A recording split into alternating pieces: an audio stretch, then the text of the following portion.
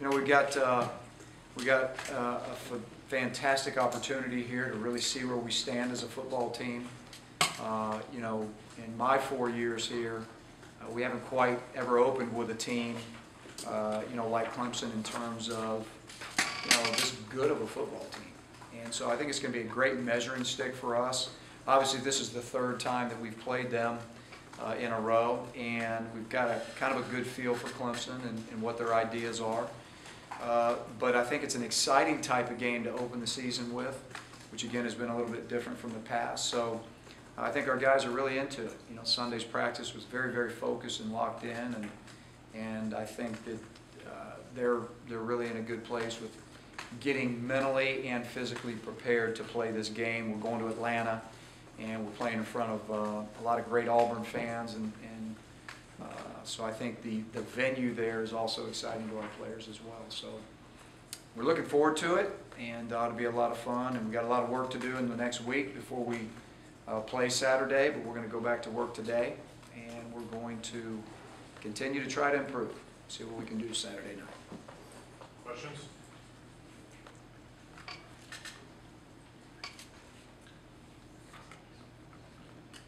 Coach, how do you, how do you keep all the discipline issues from being a distraction for this team? And how taxing is it on you as a coach, having to deal with a lot of these?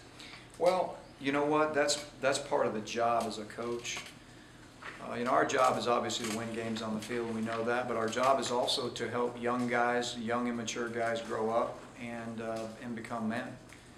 And so, one of the things that I think we've done here in the past, and we'll continue to do that, because that's always a point of emphasis for us, is that we always have to stay focused on all of the things that, uh, you know, that matter at that time in terms of preparing for football games during the season. Uh, Obviously, um, you know, you can let outside things distract you as a football team and as a coaching staff, but, you know, over the years, we, uh, we've been pretty steadfast in our movement towards staying focused and preparing. So we'll do the same here. Obviously, my main, main concern is when, you know, you have events off the field that aren't very flattering to your program, is to, you know, get help for young guys, that's our job, and to try to grow them up. And uh, so that's what we'll continue to do. Uh, But the distractions or potential distractions on the field, uh, we'll always be very steadfast on how we try to move through those and not let them become the total team distraction. Is this one of these cases where you, you kind of revisit the recruiting process and have a more critical eye when it comes to character? Or is this one of those cases where you have good kids making bad choices? Well, I think that, uh, you know, I'll say this, I've said it before. You know, we, the majority of our kids make great decisions. And uh, it's been disappointing with a couple of decisions that have been made out there that obviously don't paint a very flattering picture. Uh, It's very bothersome uh, in terms of, uh, you know, what you try to get accomplished off the field with your players in terms of the importance of doing the right things. But in the same sense, the majority, I'll say it again, the majority of our kids do a great job of that. And so, and I appreciate them. Uh, When they don't, we'll address it. We'll, uh, we're going to try to help them. And uh, obviously, again, help them grow up. So, um, you know, it's part of what, what our job is. And uh, we feel like we do a really good job in terms of monitoring and and evaluating guys when we bring them in here. And, you know, again, we'll always continue to have that at the forefront of what we want to do. Uh, And we'll continue to educate our guys on choice-making and, you know, again, move forward. Gene, when you, when you have one guy get in trouble, you have less tolerance for the next guy that, that crosses the line and the next guy, et cetera? Well, I think that it's, you know, every case is individual. I don't think that, uh, you know, on the outside looking in, unless you have all the details, you don't know exactly what, you know, what all of the details are uh, from a cumulative effect. Nobody knows that. And again, that's, you know, that's within everybody's team and how head coaches choose to handle that. But every coach is individual, every situation is individual and uh, specific in detail and different. And so there's not one cookie cutter way of dealing with every single episode. And so uh, to the outside looking in, that may not make sense, but that's the way it is on the inside.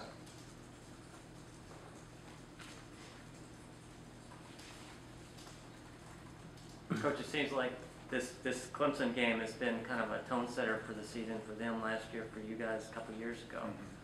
Uh, Any, any opinion why that is, and you kind of expect another one to kind of find out where both of you are? You know, it it- it's kind of, I guess it's just the way it's really unfolded the last two years. You know, 2010, that was really a, that was an eye-opening game for us because we were able to win it, but I felt like we got uh, physically beat, you know, on the lines of scrimmage uh, back in 2010, and that was kind of something that I think catapulted us into understanding what it was going to take to really win this league that year. Uh, For them, you know, in the fourth quarter, you know, the game got away from us in the fourth quarter, and they really, really, you know, played well down the stretch of that game, and that kind of catapulted them into, I think, the next week, you know, win against Florida State the next week, and so on and so forth.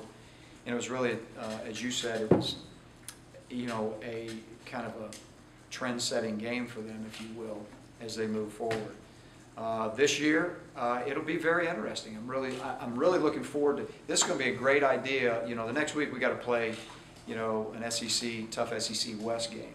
So I think this is going to be a great indicator for us, just where we stand. But uh, again, uh, you know, whether that dictates how the rest of your season unfolds or not, you know, you don't know that till December.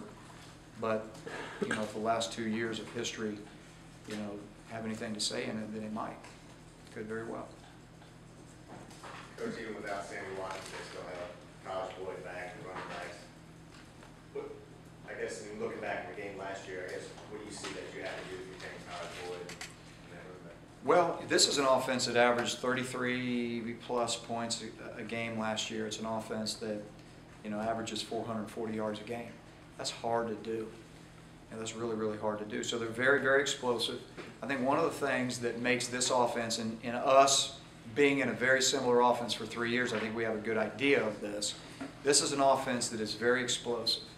And it's, you know, its big play potential and big play capabilities is the number one thing that you have to defend against when you go into these games.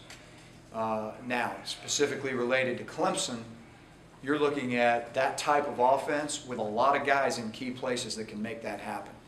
So, you know, Sammy Watkins apparently is not playing.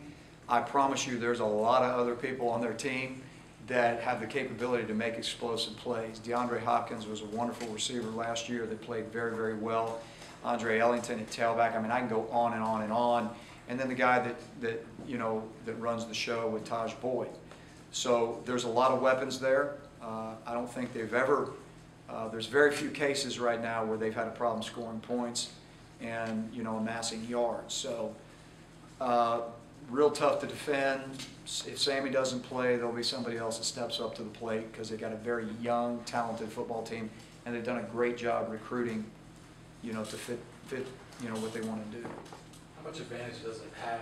Do you look at it as an advantage to, to be familiar with this offense and will that really help you guys as you prepare, or is that just kind of? Well, I think it's, I think it certainly helps. You know, I mean, there's no question that there's things in the offense that we feel, uh, you know, when it comes to a defensive strategy, Brian and I have talked about, about what, what's imperative that you stop if you're going to be successful. Well, you can say explosive plays, yes, but that, that offense has so many different variations in terms of different types of explosive plays that you're going to have to stop. You don't know which ones you're going to see. I mean, if you made a cut up of us for the last three years on explosive plays that look different from the other ones, you know, you'd have, you know, 120 different plays. So, you know, explosive plays, got to stop them. Definitely helps that we've at least seen and been around it, so we know where and how those explosive plays may or could occur. Uh, But again, you got to go out there and stop them and recognize them on game day when everything's moving real fast, and that's a whole different ballgame.